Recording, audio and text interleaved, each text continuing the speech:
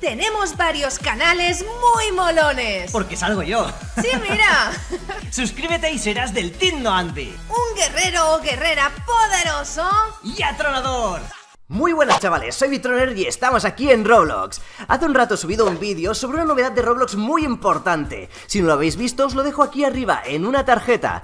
Y bueno, la verdad es que es un tema tremendamente importante que tiene que ver con los eventos diarios de Roblox. Y la cosa es que me ha generado unas cuantas dudas. Y ahora quiero comentarlos con todos vosotros. Ah, bueno, antes de seguir me gustaría daros las gracias por la gran acogida que le habéis dado a Noanji Que bueno, ha estado fuera durante dos semanas por los exámenes Pero ahora ya la tenemos de vuelta aquí y me ha dicho que os dé un abrazo bien fuerte a todos, que se ha estado leyendo todos vuestros comentarios y le han encantado. Y en fin, que la tenemos aquí para dar caña y lo va a dar absolutamente todo, como hace siempre. Vale, pero lo que estaba diciendo, ¿por dónde iba? Ah, sí, esto.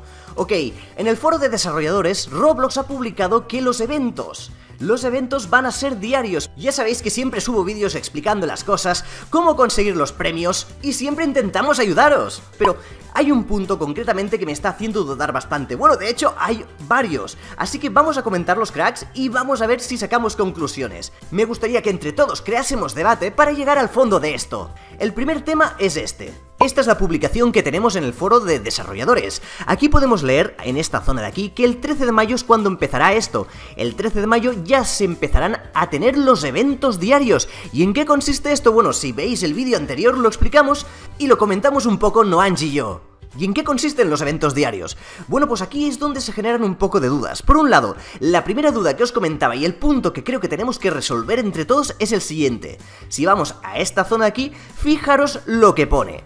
Estas oportunidades de operaciones en vivo o eventos reemplazarán nuestros eventos mensuales actuales. Claro, esto me da un poco de respeto, chavales, porque pienso, esto no se referirá a terminar con los eventos mensuales que ya tenemos, es decir, ¿qué pasaría con el Egg ¿Qué pasaría con el evento de Halloween? ¿Y qué pasarían con tantos eventos que nos gustan?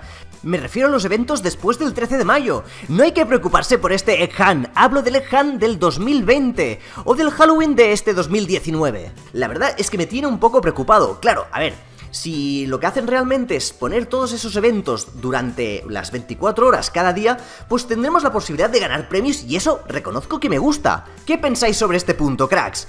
Esta es la primera duda y me gustaría, como os he dicho, que me dejaréis vuestra opinión en los comentarios, a ver si todo el Team Noambi podemos darle respuesta a esto. Pero bueno, hay otra cosa que también me hace dudar, y es el tema de los premios. A ver, cuando vamos a leer qué son los eventos Live Ops, nos dicen que sirven para promocionar nuevas funcionalidades, contenidos o feeds, personajes y mapas. Pero si vamos a la zona inferior aquí, nos dice lo siguiente. Los invitamos a agregar premios en el juego como parte de su evento Live Ops. Roblox no puede proporcionar premios de catálogo para estos eventos impulsados por la comunidad. ¿Esto qué significa, chavales? ¿Creéis que puede significar que finalmente, por ejemplo, en vez de tener los premios como es ahora, es decir, que tú haces una misión, consigues un premio, que serían cosas relacionadas con el juego. Imaginemos, por ejemplo, Jailbreak, que está en este evento. Tú cumples ese evento y lo que te dan es dinero de Jailbreak, o quizá te dan un vehículo en vez de, no sé, de darte un pelo o una mochila, ya me entendéis, ¿no? Es decir, serán premios in-game que solo sirven para esos juegos o serán para el catálogo. La verdad es que este punto me hace dudar un poco. Yo la verdad espero que Roblox no haga eso, que no se limiten a tener solo premios in-game. La gracia y el espíritu de los eventos es poder completar misiones para tener objetos y tener unos avatares bien bolones. Así que si esto es así finalmente y los premios son in-game, la noticia ya no es tan buena.